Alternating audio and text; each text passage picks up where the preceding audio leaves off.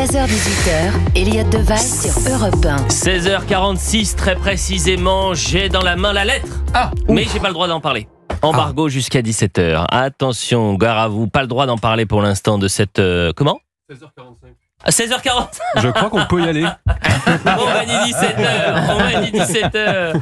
Euh, autour du, du, plateau, je rappelle, il y a Gauthier Lebret, Gabriel Cluzel, Raphaël Stainville, Arthur Delaborde du service politique d'Europe 1.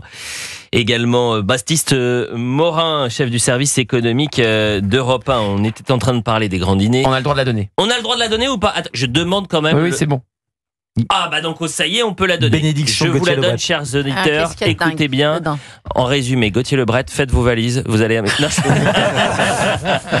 chères Françaises, chers Français, les 30 juin et 7 juillet dernier, vous vous êtes rendus aux urnes en nombre pour choisir vos députés. Je salue cette euh, mobilisation.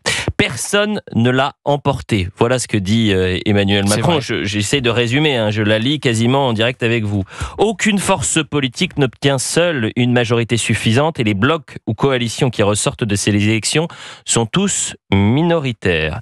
C'est à ce titre que je demande à l'ensemble des forces politiques se reconnaissant dans les institutions républicaines, l'état de droit, le parlementarisme, une orientation européenne et la défense de l'indépendance française, d'engager un dialogue sincère et loyal pour bâtir une majorité solide, nécessairement plurielle, pour le pays.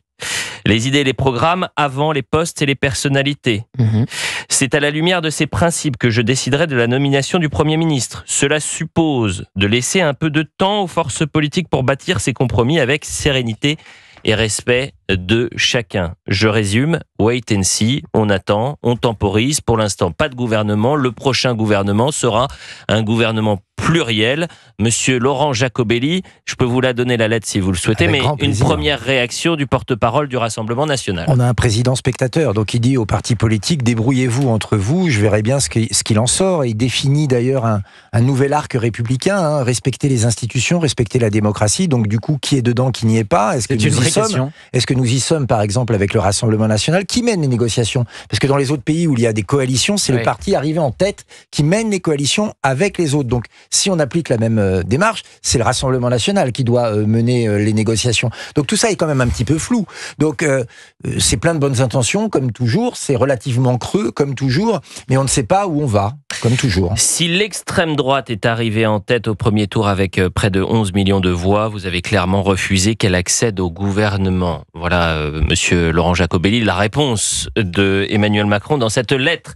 si je peux me permettre, ça veut dire que les Français ont refusé que le PS arrive au gouvernement parce qu'ils ont fait moins que nous, que LFI arrive au gouvernement, ils ont fait moins que nous, que la majorité actuelle ou sortante. Non mais euh, euh, j'ai la, la, sensation que le choix des mots, la définition des mots employés par le président est problématique. C'est que lorsqu'il parle de républicain, lorsqu'il parle d'orientation hmm. euh, européenne, qu'est-ce qu'il met derrière ces, non, Moi, ce qui m'intéresse, c'est que par exemple, ben il parle de l'extrême gauche, de l'extrême droite, pardonnez-moi, mais pas une fois, il parle de l'extrême gauche, du risque d'avoir des, des, des gens qui sont n'ont pas du tout la même notion de la laïcité, du, du respect des valeurs de la police, euh, de la sécurité, des questions migratoires.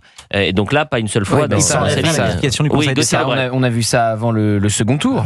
Euh, l'objectif, c'était empêcher le RN d'avoir la majorité absolue. Ils ont réussi, quitte à donner une majorité relative euh, au nouveau Front populaire. Et vous avez bien vu euh, que tout le reste n'était pas grave. L'antisémitisme, c'était pas grave. Les déclarations de David Guiraud qui traite Meyer Habib de porc, c'est pas grave. Le clip de Sébastien Delogu qui grime le même Meyer Habib en pieuvre et qui met le, mot four comme durafour crématoire de Jean-Marie Le Pen, c'est pas grave. Euh, Jean-Luc Mélenchon qui parle d'antisémitisme résiduel comme le point de détail, tout cela n'était pas grave. L'objectif, c'était d'empêcher le RN d'avoir la majorité absolue et donc on a fermé les yeux du côté de la majorité sur toutes les dérives, les outrances et, plus que ça euh, de la France insoumise et du nouveau Front populaire. Donc c'est logique de ne pas en parler dans cette il lettre. il n'a pas un mot de l'appel à, marcher sur, euh, sur Matignon, ah ça ne lui pose bah, pas de problème.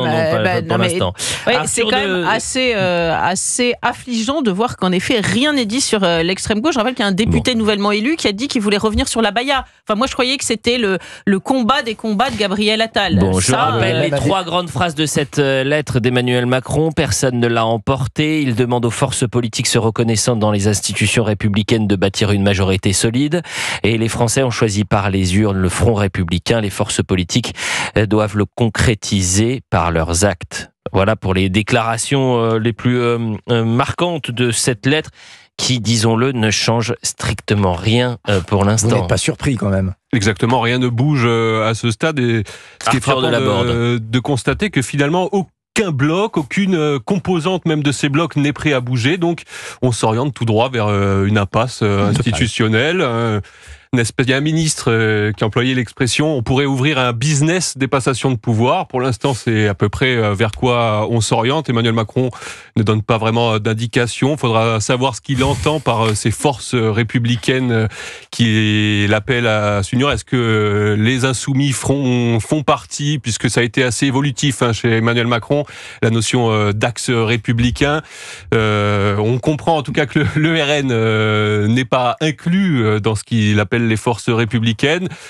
Les insoumis le sont-ils? C'est encore l'interrogation. On va avoir, je suppose, des, une grille de lecture. Je pense que non. Bah, vous, en, vous pensez, bah, vous n'êtes pas, sûr. Hein. Tiens, Sandra est en direct avec nous. Merci Sandra d'être euh, en direct 01 80 20 39 21. Je vous ai lu une partie de cette lettre d'Emmanuel Macron qui temporise, qui espère qu'il y aura une grande euh, alliance face euh, à cette, ce grand danger qu'est l'extrême droite et la peste brune. Qu'est-ce que vous en pensez? Bonjour à tous, merci de prendre mon appel. Euh, bah, ce que j'en pense, c'est que euh, la question à se poser, c'est qui est responsable de cette situation? Et le responsable, c'est Emmanuel Macron, et c'est à lui de trouver des solutions, et certainement pas à des alliances qui vont être, euh, à mon avis, euh, perverses pour les gens qui, qui vont les signer. C'est-à-dire que si les LR euh, se mettent avec Renaissance, on est reparti pour du en même temps. Donc c'est parfait. Moi, pour moi, ça me va. et puis, euh, et puis, et puis la solution, bah, euh, c'est il a, ils se sont désistés pour laisser euh, euh élire le nouveau Front populaire. Eh ben, on y va. On va au bout. On va au bout. Et puis ça va être le bazar pendant six mois. Et puis il va, il va assumer sa situation parce que Monsieur Macron, c'est un pervers narcissique qui met les gens dans des situations inextricables. Ah ben non, mais attendez, vous vous rendez compte ce qu'il nous a fait vivre depuis quelques mois? C'est, c'est, c'est terrible. Enfin, je veux dire, il se rend pas compte euh, à quel point les Français sont sont dans une situation désespérée, hein, pour certains. Donc moi, je, Sandra, on peut être euh, en désaccord complet avec la politique du président de la République. On peut considérer que ses propos peuvent être euh, heurtants. Hum Reste hum qu'il est le chef de l'État et qu'importe, on respecte. Pervers narcissique, je l'enlève, Sandra. J'enlève. Alors, alors, vous pouvez l'enlever, mais je peux vous assurer qu'il en a toutes les caractéristiques. Mais je sais pas, vous êtes psychologue, Sandra? Non, non, bah mais par contre, quand vous êtes dans la quand vous êtes dans la manipulation, dans le politique, ouais, bah, je peux vous dire, regardez. un pervers narcissique. Bon, on, oublions l'aspect pervers narcissique. Ce qui m'intéresse, c'est le statu quo. Vous vous dites, la balle est dans, le, euh, dans, dans, le camp d'Emmanuel Macron. C'est pas euh, aux, gens qui ne pensent pas la même chose de, de, de devoir s'allier. Ça, c'est intéressant. Et sa lettre, et sa lettre, à nouveau, euh, il renvoie la balle aux gens, c'est-à-dire que lui, il a pris une décision, il a mis la France dans une situation compliquée. Et puis, bah, maintenant, débrouillez Ça, c'est très vrai. Voilà. Merci beaucoup, Sandra. Merci, Sandra, d'avoir réagi et merci de nous écouter euh, tous les jours et d'écouter religieusement Gauthier Lebret, même s'il est parfois très long. Je voudrais juste euh, aller voir euh, Baptiste Morin, qui est le chef de service économique d'Europe 1, parce que cette instabilité politique entraîne aussi une inquiétude sur les marchés, les entreprises étrangères qui vont dire attendez, les amis, moi j'ai besoin de savoir qui sera le prochain Premier ministre, parce que je ne vais pas investir sinon. Hein. Oui, on disait beaucoup euh, au lendemain de la dissolution que la perspective du Rassemblement national majoritaire à l'Assemblée, c'était ça qui faisait que les marchés euh, refluaient, que la bourse était en négatif. On se rend compte depuis lundi que la bourse est dans le négatif, lundi, mardi, hier à moins 1,5%. Ce qui fait peur aux entreprises, c'est d'abord l'incertitude. Et, et, le blocage euh, total, le fait qu'il y aura aucune politique, aucune réforme prise et pourtant il y a des urgences, notamment sur le front des, finances publiques. Et ce qui fait peur aussi, on en a un peu parlé, c'est le programme du nouveau Front populaire, même si il paraît totalement inenvisageable qu'avec aussi peu de députés, ce programme puisse être euh, appliqué, puisse être appliqué à la lettre. Mmh. Ça paraît impossible, mais ça donne quand même des, idées et, surtout ça donne une image de la France qui euh, n'est pas la bonne, en tout cas pour des investisseurs étrangers. S'il y a une chose qui a plutôt réussi ces dernières années, c'est la vision qu'ont les investisseurs étrangers sur la France. Ça, ça a plutôt bien marché. Ce qui se passe depuis 48 heures n'aide pas sur cet aspect-là. Merci beaucoup Baptiste euh, Morin. Laurent Jacobelli, je rappelle euh, peut-être l'une des phrases les plus importantes de cette lettre d'Emmanuel Macron qui dit personne l'a emporté. Factuellement, c'est euh, c'est vrai.